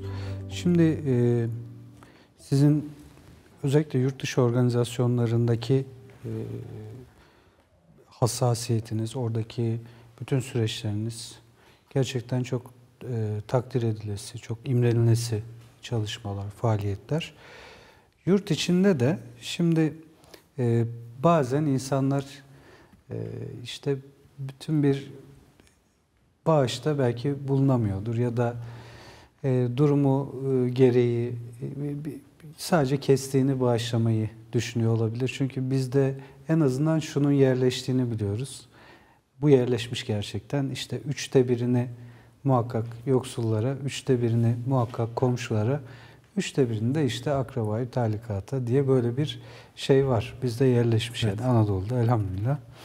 Ee, işte o üçte birlik kısmı, kesimi bir şekilde el yordamıyla e, vermektense işte profesyonel kuruluşlar aracılığıyla yani Beşir aracılığıyla vermeyi tercih edenler olabilir. E, bu noktada bizi ne bekliyor? E, proje olarak Beşir bu noktada bize hangi müjdeyi verecek diye soralım. Tabii aslında tüm yardımlar için insanın kendi eliyle yapması, bağışlar, zekat olsun, fitre olsun, kurban olsun, bizzat kendisinin yapması biraz daha evladır yani. Yapılması istenir yani. Biz ancak böyle ulusal ve uluslararası bir desteğe ihtiyaç duyduğumuz zaman hadi bize verin beraber yapalım şeklinde bir organizasyon içerisine giriyoruz. Ee, ve şöyle oluyor zaten yardımlarda da. Mesela ihtiyaç sahibi bir mahallede işte birkaç kişinin ihtiyaç sahibi olduğu biliniyor. Herkes götürüp ona e, kurban etini veriyor veyahut da zekatını veriyor veyahut da fitresini veriyor. Ama gerçekten ihtiyaç sahibi olup da bunu insanlara anlatamayan o kadar çok insan var ki bunlar bu dağıtımlardan çoğu zaman mahrum kalabiliyorlar. İşte kurumların, Beşir Derneği gibi kurumların gerçek ihtiyaç sahiplerini bulma, onlara ulaşma, onların ihtiyaçlarını tespit etme noktasında bir sosyal inceleme süreci var. Bu Beşir Derneği'nin Türkiye'de uyguladığı, hatta birçok ülkede uyguladığı bir sistem. Mutlaka ihtiyaç sahibinin evinde ziyaret edilip neye ihtiyacı olduğunu, gerçek ihtiyaç sahibi olup olmadığını tespit ettiğimiz bir süreç, e, sosyal inceleme süreci. Bu süreci e, geçmiş ve arşivimizde olan, sistemimizde olan belki e, 150-200 binden fazla aile var. E, her her yılda güncellediğimiz ve devam ettiğimiz. E, bununla beraber e, 1 milyon 2 milyondan fazla da e, toplu dağıtımla yardım alabilecek nitelikte dediğimiz desteklenmesi gereken aileler var. Ne demek? Mesela 1-2 milyon Yani şöyle hangi kapsamda? 200 bin hangi kapsamda? 150-200 bin aileye Beşir Derneği her ay düzenli yardım ulaştırdığı kişiler bunlar. Bunlar gerçekten ihtiyaç sahipleri ve e, birileri bir şey vermezlerse o günü, o ayı e, geçiremeyecek e, nitelikteki insanlar. Desteklenmesi gereken insanlarsa tamam bir şekilde gelirleri var ama işte e, çocuğu var, okul, üniversite okuyor, başka giderleri var, kira gideri var. Yani kazandığı giderini karşılayamayan, e, ufak desteklerle ayakta durmaya çalışan ailelerimiz var. İşte bunlar da bizim portföyümüzde yaklaşık 1,5-2 milyona yakın böyle insan var. E, biz bu insanlara e, Çok gelen özür diliyorum. Bunlar yurt içi Yurt içi rakamlarımız bunlar bizim. Yurt dışında daha farklı bir e, sistem e, yürüyor. E, şöyle söyleyeyim ben size. Beşir Derneği e, 10 yılda 97 milyon insana yardım ulaştırmış. Elhamdülillah. E, baktığımız zaman e, istatistiklerimizde.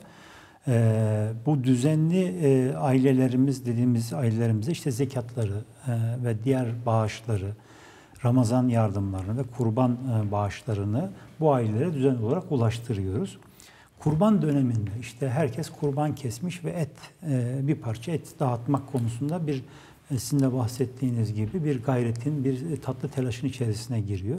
İşte Beşir Derneği tam bu noktada kardeş payı diye bir sistem geliştirdi. Yine web sayfamızdan besir.org.tr adresine girerek kardeş payı formunu doldurabiliyorsunuz. Hangi adreste olduğunuzu ve nasıl ne kadar et vereceğinizi, bu etin e, sıcak et mi yani taze kesilmiş et mi yoksa dondurulmuş et mi veyahut da niteliği nasıl bir et olduğunu o formda seçiyorsunuz ki ona göre bir kap getiriliyor. İşte soğuk zinciri varsa soğuk zincirine göre bir kap getirilip ihtiyaç sahiplerine ulaştırılmak konusunda bir e, mutfak çalışması yapılıyor. Siz de formda vermiş olduğunuz bilgilere dayanarak. Bu formu doldurarak e, kesmiş olduğunuz, kendi evinizde, e, kendi elinizle kesmiş olduğunuz kurbanlarınızın bir kısmını Kardeş Payı projemizde Türkiye'de işte bu bahsettiğimiz 1,5-2 milyon insana Beşir Derneği üzerinden ulaştırmakla ilgili bir e, kolaylaştırıcı bir sistemi birkaç yıldır uyguluyoruz. Aynı zamanda yine kurban kesim alanları var biliyorsunuz belediyelerimizin kurmuş olduğu. İşte kurban hayvan pazarlarının olduğu yerlerde aynı zamanda kesim yerleri vardır. Buralara da standlar açıyor Beşir Derneği temsilcilerimiz. Kurbanını işte kesmişsin, işte poşetliyorsun götürürken de bir kısmını Beşir Derneği o ekiplerine, standdaki ekiplere bağışlayarak orada belli bir hacme ulaşıyor. İşte onlar da yine bu listelerdeki ihtiyaç sahiplerine hızlı bir şekilde dağıtımı sağlanıyor. Günü gününe Günü mi? gününe tabii. Yani bu et bekletilmez. E, sıcak ettir. Ya bunu işleyip e, dondurmanız gerekir ki yani e, saklayıp dağıtabilirsiniz ama zaten bayram içindir bu. Ve, insanlar birileri et getirse de e, biz de çoluğumuzda çocuğumuzda bu bayramın bu özelliğini bu güzelliğini yaşayabilelim diye bekliyorlar zaten. Bizden bekliyorlar ve e, inanın e, çocuklar bizleri kapıda bekliyorlar yani. E, geleceğimizden o kadar eminler ki onun için her sene e, o ailelere yeniden veyahut da yeni ailelerimize gidebilmek adına temsilcilerimiz canla başla çalışıyorlar. Bayramı unutuyorlar zaten. Bayram sabahından başlıyorlar. E, işte gerek kardeş payı formunda adres belirten adreslere gidip araçlarıyla etleri alma konusunda gerek işte e, kurban kesim yerlerindeki standlarda toplanan etlerin ailelere dağıtılma konusunda 250'den fazla temsilcimiz, e, belki on binlerce gönüllümüz bayramın ilk birinci ve ikinci günü bu faaliyeti yapmak konusunda canla başla çalışıyorlar. Yani Beşir gönüllüleri bayram herhalde üçüncü günden itibaren. Tabii üçüncü gün e, bayramın birinci gibi Evet, gibi evet. o hizmeti yapmanın mutluluğu ve sevinciyle onlar da bayramlarına e, yapmaya gayret ediyorlar. Tabii bu da değil. Aynı zamanda işte kahvaltılık malzeme de dağıtıyor temsilcilerimiz. Sadece et değil aynı zamanda bayramdan önce ailelerimize kahvaltılık malzemeler götürerek işte bayram sabahını biraz daha neşeli, biraz daha zengin bir sofrada yapmalarıyla Yani ilgili. ben onu soracaktım. Şimdi Evet. çocuklar kapıda bekliyor. Çocuklar bayram günü eti her şeyden daha Evet. çok severler ve beklerler ama yine de o kardeşlerimize, o ailelere e, bayram sevincini sadece e, kurbanlama. O çok kıymetli bir paylaşım ama başka neler yapabiliriz? Özellikle biz e, programın başından beri biliyorsunuz kurban bağışı ve diğer Evet. yardımlar diye özellikle altını çiziyoruz. Diğer yardımlar da önemli öyle değil mi? Yani şimdi durumu belki de kurbanını bu sene kesemeyecek olanlar, o maddi zenginliği olmayan insanlar vardır. Ama yine Beşir Derneği'ne Kurban Bayramı'nda belki dağıtılmak üzere bazı yardımlarda, bağışlarda da, diğer yardımlarda da Tabii. bulunabilir öyle değil mi? Şöyle tabii tabii. Yani genel bağış e, yapabilir e, e, bağışçılarımız. Zaten yapıyorlar. O yapılan o bağışlarla biz her ay ailelerimize e, online alışveriş e, imkanı sağlıyoruz. Yani bir bayram günü değil mevzu. Bizim işte daha önceden başlıyor. İşte bayramlık paketlerin hazırlanması. Ailelerimizin, çocukların zaten bizde bilgileri var. İşte kız mı, erkek mi, yaş grubu nedir, ayakkabı numarası nedir gibi birçok bilgisi bizde var. Bunlar işte gelen aynı bağışların paketlenerek bu ailelere ulaştırılması. Bundan daha kıymetlisi gelen bağışlarla alışveriş yaptırıyoruz ailelerimize. Beşir destek kart sistemiyle. Bir Beşir destek kart veriyoruz. Bu ailelerimiz gerek online alışveriş yapabiliyorlar. Gerekse mağazalara, marketlere giderek kendi ihtiyaçlarını normal bir alışveriş yapar gibi alışveriş yapıyorlar. O bayram telaşını, bayram alışveriş heyecanını, ee, işte anneler babalar için telaş çocuklar için büyük bir sevinç olan o bayram alışverişini biz ihtiyaç sahibi ailelerimiz de yaşasınlar diye Beşik Destek Kart'la bayramdan günler öncesinden kendilerine bu imkanı sağlıyoruz. Bunu sağlayabilmek tabii ki kurban etiyle olmuyor. Yapılan işte e, daha önce yapılmış zekat bağışları veyahut da normal bağışlar, işte sadakalar, herhangi bir şekilde nakdi bağışlar bu ailelerin işte bayramdan önce ihtiyaçlarını karşılayabilmek için Beşir Destek Kartlarına yükleniyor ve bunlar da işte mahallelerindeki veyahut da e, kentlerindeki mağazalara veyahut da anlaşmalı mağazalara, anlaşmalı marketlere veyahut da e, nasıl hepimiz şu anda en ufak bir şeyi bile online alışveriş yapıyorsak aynı ailelerimiz de ihtiyaç de Beşir de- Destek Kart sistemine girerek istedikleri ürünü online sipariş verip kargoyla kapılarına kadar getirebiliyorlar. Bu imkanı, bu gücü, bu e, kardeşlerimize sunduğumuz bu imkanı işte bu diğer bağışların, nakdi bağışların aslında bize sağladığı güç ve imkanla e, gerçekleştirebiliyoruz. Dedik bayramın e, başından beri işte e, ailenin hazırlanması için hem gıda hem temel ihtiyaç malzemesi hem giyim e, ile ilgili destek veriyoruz. Bayram sabahı da kesilen kurbanların paylarını ailelerimize ulaştırıyoruz. Dediğiniz gibi işte eşitlemek yani bütün evlerde, o mahalledeki bütün evlerdeki sevincin aynı olması için, aynı mutluluğun yaşanabilmesi için var gücümüzle çalışıyoruz. Elhamdülillah bunlar çok güzel. Peki şimdi e, siz sistemi birazcık anlattınız aslında bize ama mesela işin yurt dışı ayağında da e, oradaki e, paydaş kurumlar vesilesiyle mi e, yoksul insanları, ihtiyaç sahibi insanları e, tespit ediyorsunuz? Ya da bizim genelde hani mazlum coğrafyalar dediğimizde zaten neredeyse herkesin ihtiyaç sahibi olduğu e, yerleşim yerlerinden bahsediyoruz aslında öyle Evet. değil mi? Yani bir muhit bilgisi size bir şekilde geliyordur ya da siz e, bir e, keşfe çıkıyorsunuzdur bu anlamda. E, O süreç nasıl oluyor Fatih Bey? Ee, şöyle dedik ki en ihtiyaçlıdan başlayarak aslında biz faaliyetlerimizi yürütüyoruz. Bu yurt dışı için de aynı şekilde geçerli.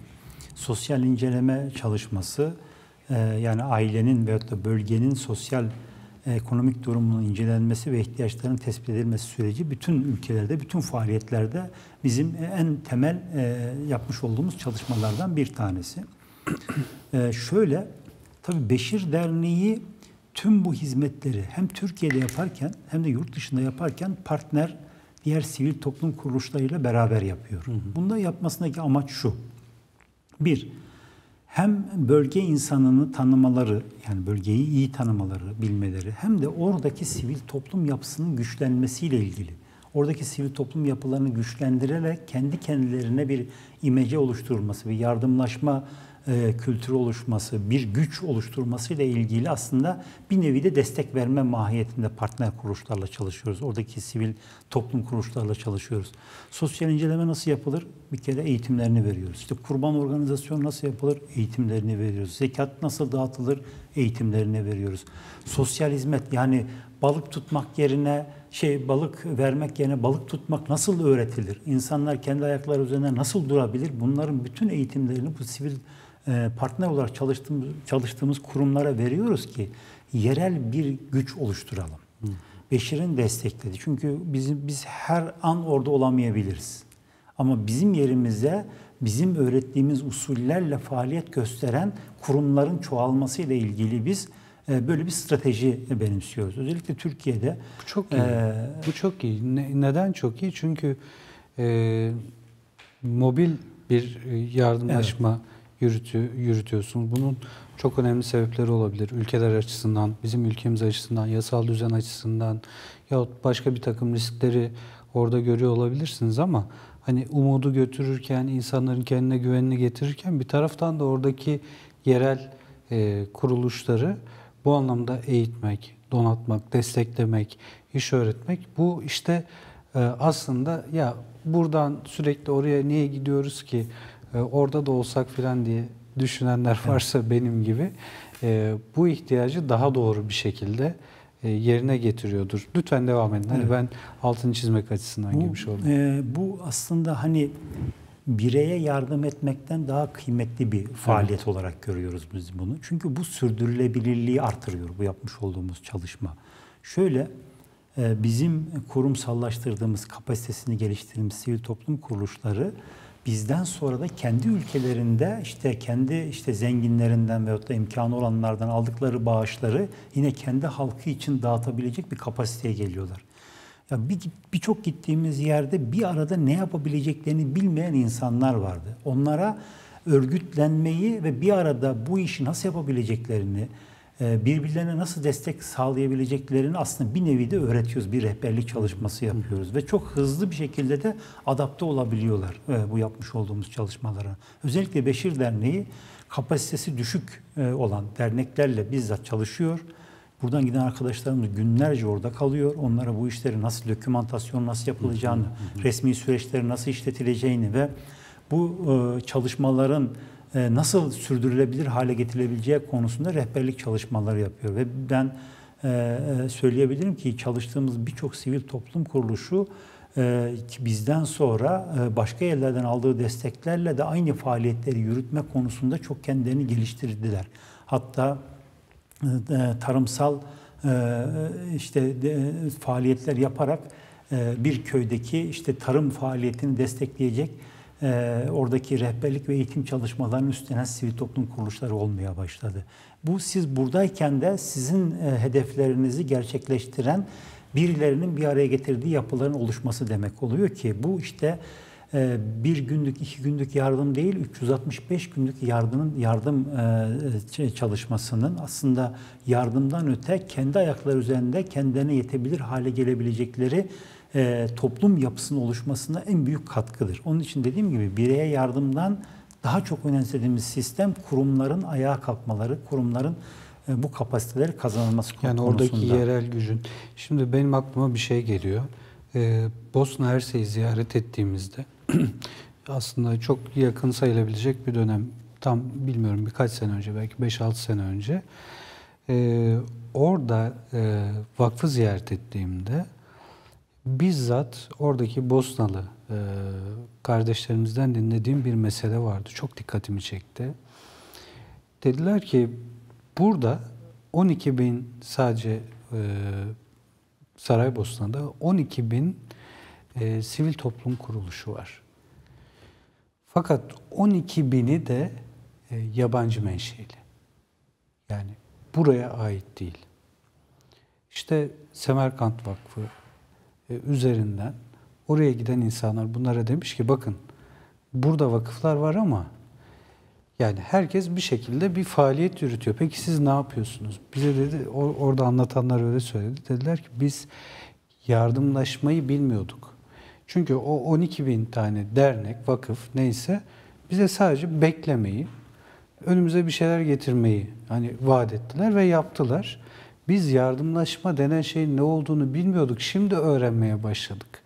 Orada da aynı yöntem uygulanmıştı ve e, önce kendileri bunu öğrenmişler ve inanamamışlar yapabildiklerine. Daha sonra da e, bölge halkı böyle bir şey alışık değil ya şaşırıyormuş yani nasıl siz de buralısınız ve bu yardımları siz getiriyorsunuz. Böyle çok hayırlı bir süreci aslında orada vesile olmuştu. Yani yardımın gitmesi ayrı, işte sivil toplumun gitmesi ayrı ama bazıları gidiyor aslında oradaki insanlara ciddi zarar veriyor. Onları pasifize ederek, onları hazıra alıştırarak Evet, dolayısıyla ne oluyor? İstedikleri zaman veriyorlar, istemedikleri zaman vermiyorlar. Veriyor gibi görünüyorlar, daha fazlasını alıyorlar. Siz daha iyi biliyorsunuz evet. o coğrafyalara çok gittiğiniz için. Şu gayret altı defalarca çizilmesi gereken bir gayret ve gayretin ötesinde artık bunu bir yöntem olarak siz belirlemişsiniz zaten. İşte bu bizim aslında gönül yaramız. Yani e, az önce de anlatmaya çalıştım. E, biz insani yardıma sahip çıkmazsak, biz yardımlaşmaya sahip çıkmazsak, kurumsallaştırmazsak bunu, başkaları bunu sömürge için kullanıyor. Dünyanın en zengin topraklarında açlıkla mücadele ediliyor, kuraklıkla mücadele ediliyor Afrika'da. Hı hı. Yeraltı madenleri ayrı bir zenginlik, işte toprakları ayrı bir bereket, ayrı bir şey. Aynen başka ülkelerin yardım kuruluşları yıllardır bu ülkede siz hiçbir şey yapmayın, biz size gıda vereceğiz, biz size şunu vereceğiz. Yeter ki siz e, şey yapmayın, e, bir şey üretmeyin, bir şey yapmayın, biz size yeteriz diyerek bu toprakları kendine yetemeyen hale getirmiş, kendilerine bağımlı hale getirmişler. İşte tam da sizin vermiş olduğunuz örnektekini yapmaya çalışıyoruz. Yerel sivil toplum kuruluşlarını kendi halkların, kendi içlerinden kurdukları bu e, sivil toplum kuruluşlarını canlandırıp kendileri kendi kendilerine yetebilecekleri hale getirmeye çalışıyoruz. Hedeflerimizden bir tanesi de bu. Hı hı. Uluslararası Semerkant Derneğimiz var biliyorsunuz. Semerkant Vakfımızın kuruluşlarından yurt dışında e, dini, irşadi ve kültürel faaliyetler yapıyor. E, ve bu derneğimiz yaklaşık yüzden fazla ülkede bu faaliyetlerini sürdürüyor. İşte bu yapılar e, biz bunlara e, bu yapılara yardımlaşmayı, birbirlerine destek olmayı öğretirken aynı zamanda kimlik kazanma konusunda da İslami değerlerin yeniden tesis edilme konusunda da Uluslararası Semerkant Derneğimiz çok büyük bir e, gayret ve çaba sarf ediyor. Türkiye aynı şeyi Türkiye'de yapıyoruz biz. Yani Türkiye'de 81 ilde temsilciliklerimiz var ama belki 200-300'den fazla dernekle işbirliği protokolü yapmışız biz. Hı hı. Yardımlarımızı bu dernekler üzerinden dağıtıyoruz ki yerelde de güçlü STK'lar oluşabilsin diye.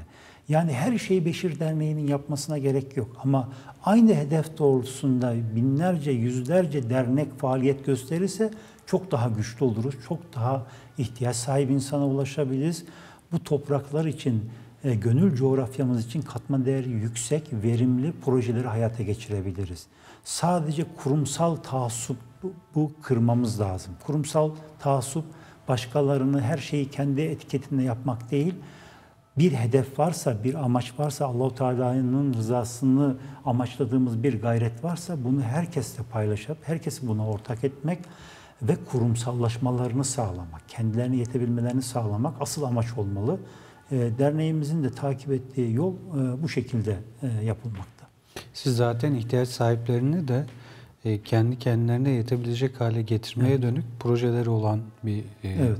kurumsunuz. Yani Beşir bu bunu da önemsiyor. Çeşitli yardımlarla meslek edindirip öyle değil mi insanların o emeklerini yani karşılığını alabilecekleri bir sisteme doğru insanları artık yönlendirmeye başladı. Ee, bu, bu da çok kıymetli gerçekten. Tecrübelerimiz bize onu gösteriyor ki yani yardım yapmak e, az önce Bosna'dan örnek verdiniz. Yardım yaparak bir toplum tembelleştiriliyor. Afrika aynen bu şekilde oldu. Tamamen yardım yapılarak koca bir kıta tembelleştirildi üretmekten, üretmeyi düşünemeyen, yani acaba biz bunu yapabilir miyiz dahi sordurmayan kendisine bir nesil ortaya çıktı. Sosyal yardım kısa süreli olmalı. Yani acil destek verirsiniz, e, kişiyi birkaç ay desteklersiniz ama artık demeniz lazım ki kardeşim sen çalışıp kazanabilecek hale gelmen lazım. Bunun için ben sana ne yapabilirim? Mesleğin yoksa bir meslek eğitim kursuna yazılalım. Halk eğitimlerimiz var, belediyelerin kursları var, özel kurslar var, iş kurum kursları var. Yoksa da bizim bulacağımız bir hoca, bir rehberle bu mesleği sana öğretelim. Ve sana makine teşhisat alalım, ham madde alalım veyahut da dükkanını kuralım. Neyse bunu yapalım sana. Hı hı. Ama sen artık kendin çalış, kendin kazan. Hem öz saygınlığını yeniden kazanmış olursun hem de kazancın da yarın başkalarının da e, ihtiyacını karşılayacak bir hale gelmiş olursun. Sürekli insanlara yardım götürmek yardım, e, o sorunu çözmüyor aslında. O sorunu derinleştiriyor. Çünkü evet. bir müddet sonra insanlar yardım almaya alıştıkları için çalışmayı bırakıyorlar. Hı hı, hı. Eğer biz buna alet olursak sosyal yardımlaşma kurumu olarak eğer bir sosyal hizmet modelini ortaya koyamazsak aslında bir, bir müddet sonra iyilikten çok bu insanlara, bu millete kötülük yapmış oluruz. Evet. Onun için bağışçılarımıza diyoruz ki bağışlarınızı genel bağış yapın. Şartlı bağış yapmayın. Genel bağış yaparsanız biz yoksullukla mücadele edebiliriz. Biz işsizlikle mücadele edebiliriz. İnsanları meslek sahibi yapabiliriz. Yeniden hayata katılmalarına vesile olabiliriz. Bu kadın olur, erkek olur, çocuk olur, genç olur. Gençlerimizi evlendiririz. Ahlaki çöküntüyü önleyecek faaliyetlerde bulunabiliriz. Onların e, kendi ayaklarının üzerinde durabilecekleri çalışmaları yapabiliriz. Ama siz bir şart korursanız biz o şartın dışında hiçbir şey yapamayız. Hı hı, hı. Onun için bahsettiğiniz, verdiğiniz örneklerden de biz bunu her gün yaşadığımız için aslında bu bizim en büyük dertlerimizden bir tanesi. Hı hı. Yardım yaparken aynı zamanda kişiyi, kurumu ve toplumu da geliştirmek gibi bir stratejiyi e, benimsiyoruz ve bunu Harikulade. yapmaya çalışıyoruz. Bağışçılarımızdan da bu konuda destek istiyoruz. Harikulade. Peki kurbana tekrar döneceğim müsaadenizle. E, merak edenler vardır. Bu sene e, bağış fiyatı nedir Beşir Derneği'nin? Beşir Derneğimizin bu sene bir hisse bağış miktarı 2200 TL. Hı hı. Ee, dediğimiz gibi herhangi bir ülke veya da bölge şartı olmaksızın bağışları kabul ediyoruz. Çünkü Türkiye'deki kesim planımız e, ona göre planlandı. Yurt dışındaki ihtiyaçlı bölgeler ona göre planlandı. Bu anlamda e, Beşir Derneği'ne bağış yapmak isteyen kardeşlerimiz internet sitemize besir.org.tr'ye girerek banka kartlarıyla e, 4 taksit imkanı da var. Hani ola ki taksit yapmak isteyenler olursa e, banka kartlarına 4 taksitle yaparak 2200 TL e, bedel ödeyerek bağışlarını yapabilirler. Hı hı. Ee, peki şimdi bizim hedefi bir yarım bıraktık sanki ilk bölüme giderken. Bu yılki hedefiniz nedir? Beklentiniz ne yöndedir? Ama ben bir şey daha merak Evet. ediyorum. Ee, şimdi e, bu millet enteresan bir millet. Arada da konuşmuştuk. Ee, sıkıntıya düşse de, dara düşse de, hatta belki de en çok e, imtihan üzere olduğu zamanlar, dara düştüğü zamanlar e, enteresan yani kimsenin beklemediği, aklın çok algılayamadığı bir e, haleti ruhiyeye bürünüyor. Yani yarası varsa daha çok yara sarmaya çalışıyor. Sıkıntıdaysa daha çok sıkıntı gidermeye çalışıyor. Bu enteresan bir özellik. E, bu anlamda e, şimdiye kadar olan bağışlarınızı e, dikkate alarak e, insanın aklına ilk geldiği gibi mi yoksa bizim konuştuğumuz gibi mi tablo nasıl, yardımlar ne düzeyde onları aslında duymak istiyorum. Ee, şöyle, mesela bir pandemi süreci geçirdik. Hı hı. Ee, doğal olarak insanlar evlerine kapandılar, iş yerlerini kapattılar. Evet. Birçok insan e, kısıtlı çalışmaya gitti. Hatta izne çıkarıldı, ücretsiz izne çıkartıldı. E, doğal olarak e, şöyle düşünülebilir. Yani bağışlarda düşmüş olabilir. Düşmelidir. Yani çünkü gelir yoksa bağış da olmaz gibi bir e, fikir yürütülebilir. Ama öyle olmadı. Beşir Derneği e, e, pandemi sürecinde yüzde otuzdan daha bir büyük rakama da, aldığı bağışlarla büyüme oranına sahip oldu. Yani daha yüzde otuz daha çok bağış daha geldiğini çok bağış değil mi? geldi ve daha çok insana ulaşmak gibi bir imkanı yakaladık biz. Elhamdülillah. E şimdi aynı şekilde ekonomik kriz var. İşte kurban kesimi veyahut da bağış miktarları düşebilir diyoruz. E şu anda e, yüzde 25 daha fazla geçen seneye göre bağış oranında olduğumuzu görüyoruz. Gelen bağışlardan aldığımız istatistik veriye baktığımız zaman. Yani ne kadar dara düşsek de aslında bağış veren sayısı da o kadar çok artıyor gibi geliyor bana. Yani bu bireysel bağışların artması mıdır? Allahu Teala'nın bir bereketi midir bilemiyorum ama en zor dönemimizde en çok bağışladığımız zamanlar olduğunu söyleyebilirim. Geçen sene biz yaklaşık 35 bin hisse kurban e, bağışı toplamıştık. Bu seneki hedefimiz 50 bin hisse kurban bağışı toplamak. Siz de artırdınız bir de. E, Yani ihtiyaçlar çok arttı. Elhamdülillah. E, Biz de ihtiyaçlara binaen e, niyetimizi ve gayretimizi artırıyoruz. Takdirde bağışçılarımızdan Allahu Teala inşallah imkan verir. İnşallah. bu hedefimize ulaşırız ve hem Türkiye'deki ihtiyaçlarımızı karşılar hem de dünyanın diğer birçok e, köşesinde, gönül coğrafyamız dediğimiz o alanlardaki kardeşlerimizle de daha fazla onların da ihtiyaçlarını karşılayacak bir imkana kavuşmuş oluruz İnşallah. inşallah. Fatih Bey, Beşir bizim için yine müjde olarak geldi hamdolsun. Çok müjdeli aslında bir program oldu her yönüyle. Bütün e, yurt içi ve yurt dışındaki bütün faaliyetlerinize kısa kısa değinme imkanımız oldu. Tabii ki Beşir için bir yıl, iki yıl program yapsak yine de e, çalışmalarınızı ve konularınızı bitiremeyeceğimizi biliyoruz. E, çok teşekkür ederiz e, katıldığınız için, bizi bilgilendirdiğiniz için, bize müjdeler getirdiğiniz için, bizi umutlandırdığınız için çok çok teşekkür ediyoruz. Asıl ben teşekkür ediyorum.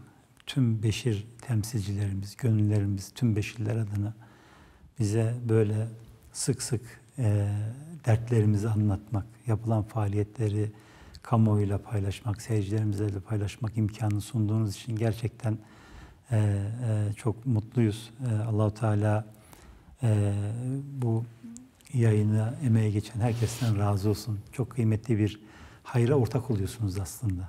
Şurada konuştuklarımız, Evet. şurada e, anlattıklarımızda Bu bir kişi, müjdeydi. bir kişi kalkıp bağış yapacak olsa e, buradaki bütün ekip e, buna ortak oluyor. O anlamda ben teşekkür ederim. Allah razı olsun hepinizden. Müjdeyle geldiniz, müjdeyle de kapattınız. Allah razı olsun. Biz de efendim bütün Beşir Derneği gönüllülerine buradan selam ediyoruz. Allah hayırlarını kabul etsin, gayretlerini artırsın diyoruz. Yeni bölümlerde yeni konu ve konuklarla yine sizlerle birlikte olacağız inşallah. O zamana dek Allah'a emanet olun. Kendinize çok çok iyi bakın efendim.